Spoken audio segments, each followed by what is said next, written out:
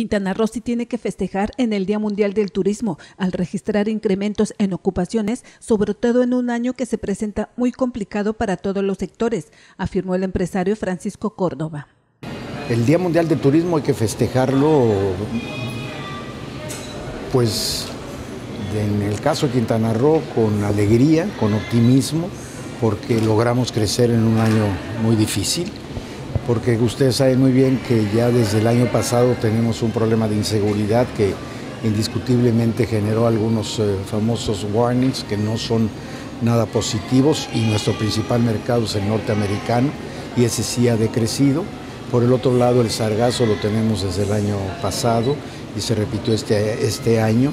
No es un elemento que, que favorezca el crecimiento del turismo. El expresidente del Consejo Coordinador Empresarial afirmó que junto con el festejo hay que destacar que Quintana Roo cuenta con retos muy importantes. Hay que poner mucha atención en esos eh, retos que tenemos. Tenemos un reto de inseguridad no resuelto, tenemos un gran reto que yo diría que es un problema global del sargazo, pero que le pega al Caribe, que le pega particularmente a Quintana Roo, y tenemos un reto que me parece que no ha sido evaluado correctamente y que yo he sido, ustedes me conocen, muy insistente.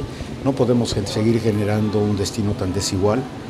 Eh, el problema de, México y particularmente de Cancún es un problema donde hay pobreza, donde hay desigualdad y donde hay exclusión.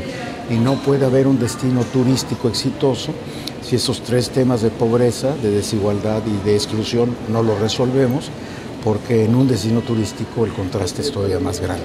Dijo que aunque Cancún tiene algún descenso en el número de visitantes, el resto de los destinos turísticos de la entidad levantan la ocupación. Incluso estimó que el crecimiento anual de la actividad superará el 1%.